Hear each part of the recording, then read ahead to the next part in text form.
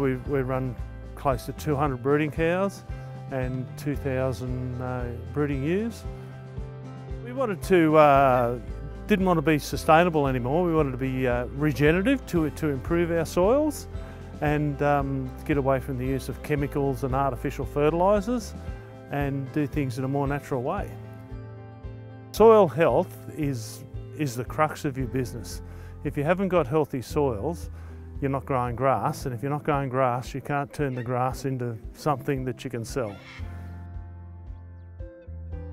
The dung beetles help improve soil fertility in two, two ways. One, one is that they're aerating the soil, which is allowing moisture to go in and, and allowing plant roots to penetrate deeper into the soil because the dung beetles are digging down 300 mils at least.